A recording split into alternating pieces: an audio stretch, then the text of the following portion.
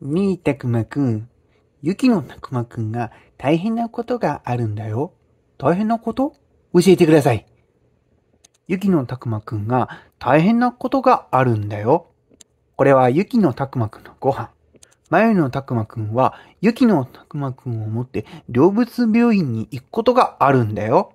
お母さんはゆきのたくまくんに直してる時に何か具合が悪いかなということはそうなんだし、本当はそういうことはないかな。